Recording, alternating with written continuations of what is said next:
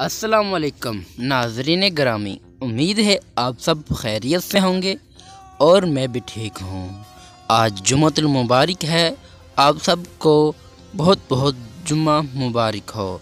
जैसा कि आप लोगों ने थंबनेल पढ़ लिया होगा कि मैं क्या बताने वाला हूँ। वज़ी दाखिला, शेख रशीद का कहना है कि जो पीडीएम है, जो पीपल्स पार्टी, नून लीग वगैरह पार्टी हमारे साथ ताउन करें और हमें बताएँ कि आप क्या चाहते हैं। और उन्होंने कहा है कि इन सताईस मार्च को इमरान खान जो जलसा करने वाला है, वो तारीख़ी हिस्ट्री में लिखा जाएगा। मतलब कि तारीख़ के अंदर लिखा जाएगा। और उनका ये भी कहना है कि जो भी हम कदम उठाते हैं, सोच समझ के ही उठाते हैं। वज़ी दाखिला शेख रशीद का ये भी कहना था कि इससे पहले मैंने आवाम के अंदर इतना जोश, जज्बा नहीं देखा जितना अब है। और उनका ये भी कहना है कि ये इनकी ख़ुद की लड़ाई है और ये हक की लड़ाई लड़ रहे हैं। इन हम भी साथ हैं और हमारी कौम भी हमारे साथ है और हम इन जो पाकिस्तान के अंदर इंडियन एजेंट के साथ पाकिस्तानी कुछ सियासतदानों का हाथ है और वो बाहर की एजेंसियों के लिए काम कर रहे हैं।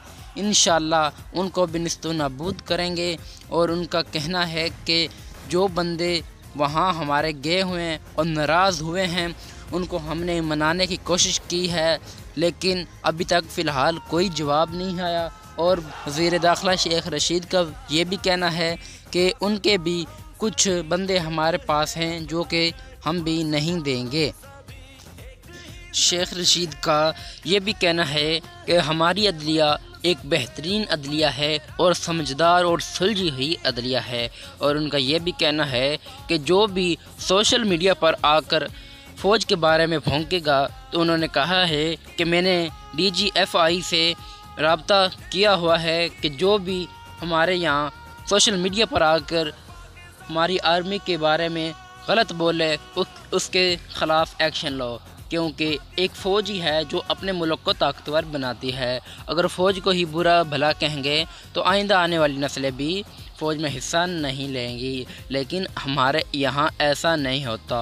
पाकिस्तान एक अजीम मुल्क है। पाकिस्तान एक मुसलमानों का मुल्क है, जो कि मुसलमान अपने हक से पीछे नहीं हटते।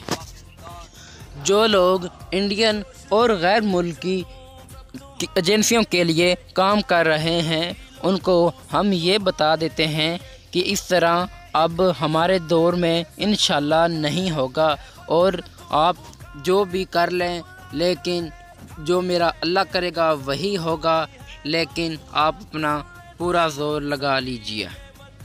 वज़ी दाखिला शेख रशीद का ये भी कहना है कि आज के मैं, आज के बाद मैं आपको पल पल की खबर दूँगा, क्योंकि मैं भी एक न्यूज़ रिपोर्टर में से एक न्यूज़ रिपोर्टर बन चुका हूँ, जो कि आपको जो भी हमारे दरमियान कशमकश हो रही है, उसके बारे में बताऊँगा।